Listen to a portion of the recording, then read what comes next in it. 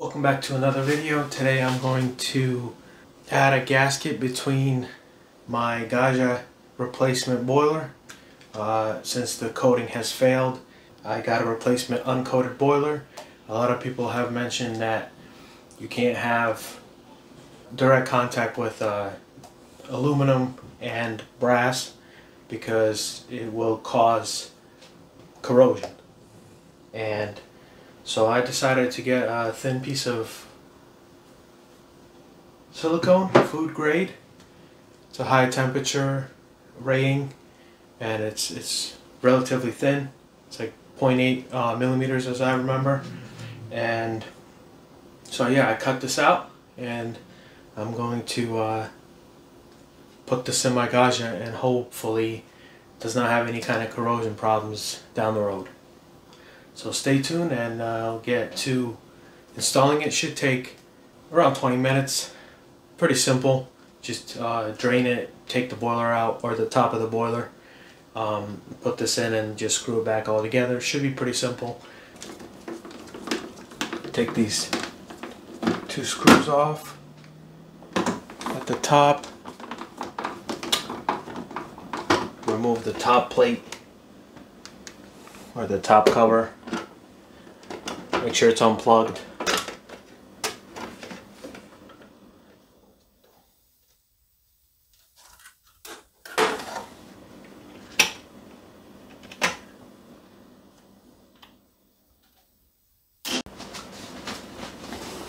So I got the boiler out, the top portion of it, and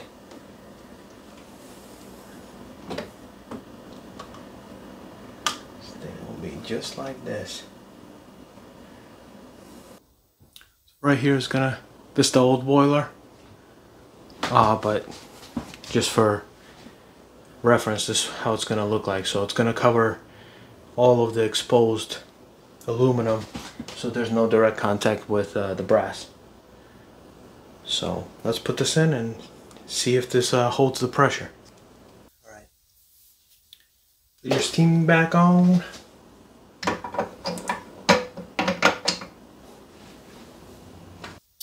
Have them loose and then make sure that you line them up so that the steam is centered in the, the cutout in the casing so it looks nice and clean.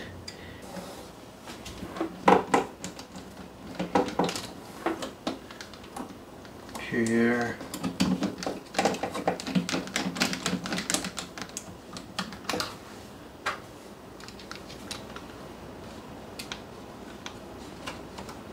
Make sure you don't cross thread these. That would be a problem.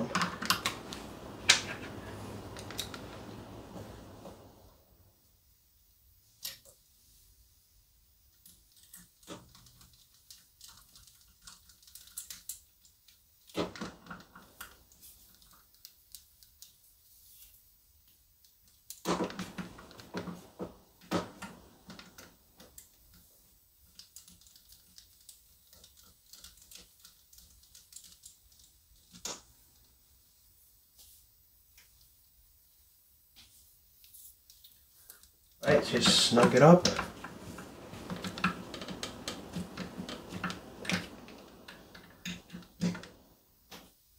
Because if you don't, uh, your knob might be scraping against the casing and that's not good.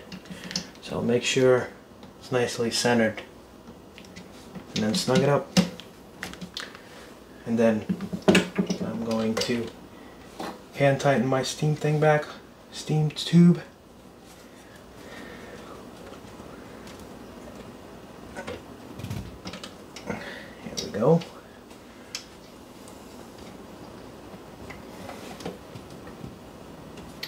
And then I'm going to plug my last heater uh, connector. And now I'm going to snug up my ground screw. So don't need to be too tight because it is aluminum so don't don't strip it. And so yeah, we're ready to go. So I'll plug it in and hopefully we're not gonna have any leaks.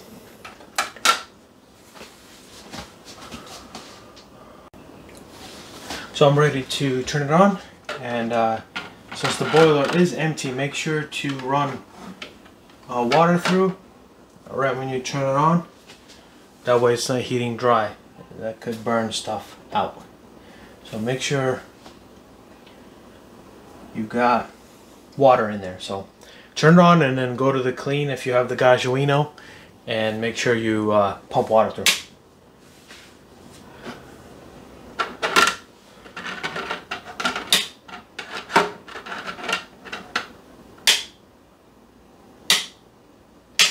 Cycle it if it doesn't kick on the pump.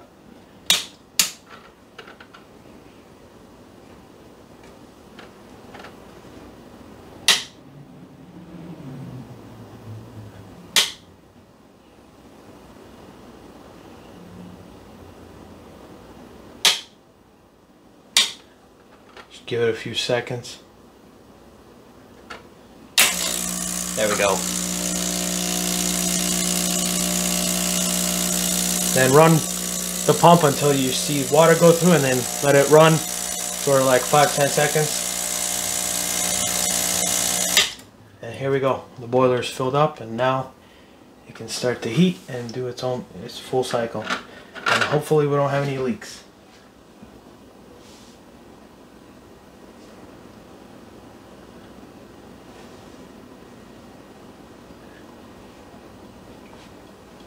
So far no leaks, so that's good. Uh, hopefully it holds. I mean, there's not much pressure at the moment. Just running the steam would be the most pressure. Um, or maybe not, maybe even a shot.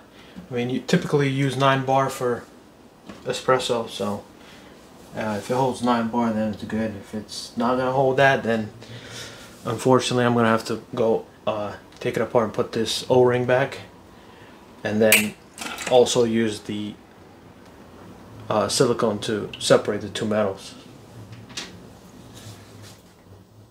So far so good. I think I can just put in a blank and see if it holds the pressure. So this is probably the ultimate test right here. So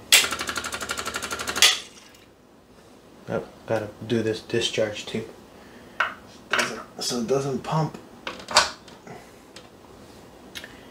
Here we go.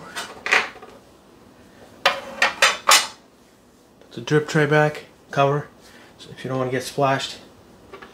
And then I'll do the cleaning cycle.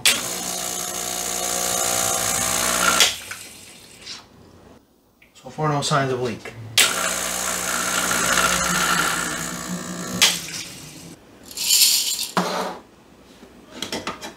Do 18 grams in, 40 out. I'm Gonna use my DF64V with the MPSSP blind burrs with the slow feed disc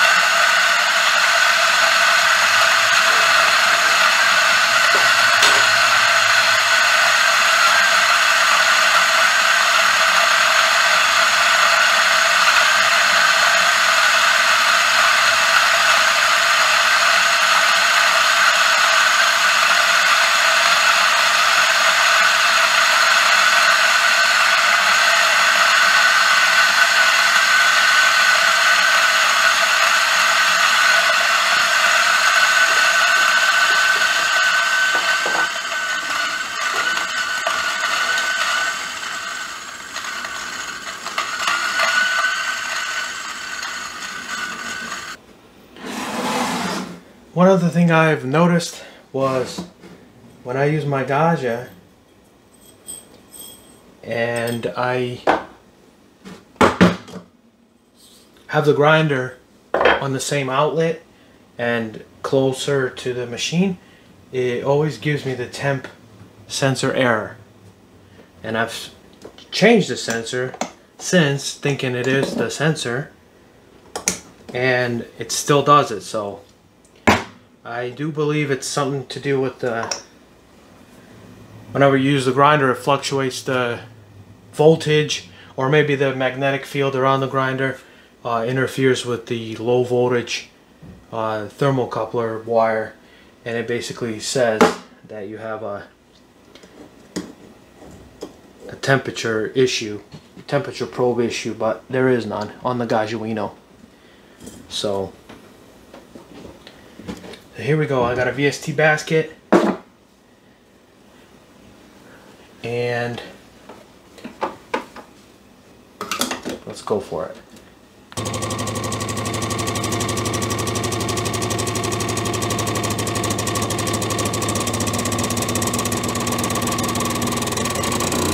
Beautiful.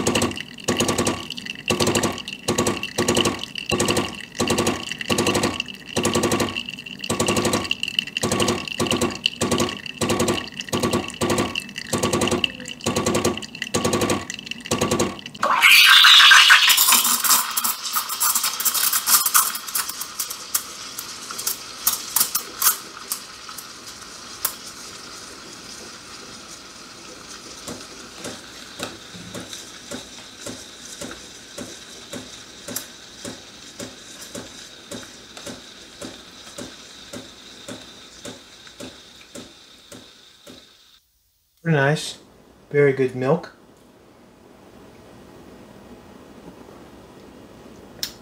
Ah, delicious.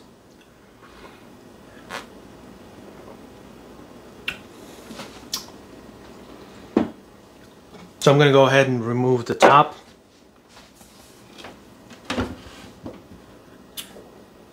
And see if it's got any kind of visible leaking.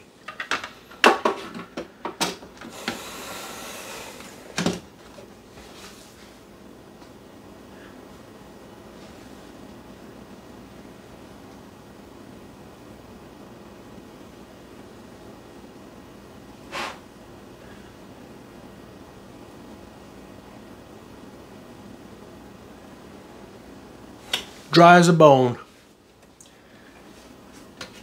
So this could be a good solution for people that have a machine that was an Evo with a peeling boiler and then they got an uncoated boiler. I know Gaggia has stated that it shouldn't be an issue, but I just see the problem in conversation on Reddit and everywhere constantly saying that brass and aluminum are very far on the on the chart or table. So a lot of people say it just it it's gonna have an issue. It just depends on how long. Some people say a year maybe two. But I'd rather not have that issue. And so I'm just gonna put a little silicone gasket and now I don't have to worry about it.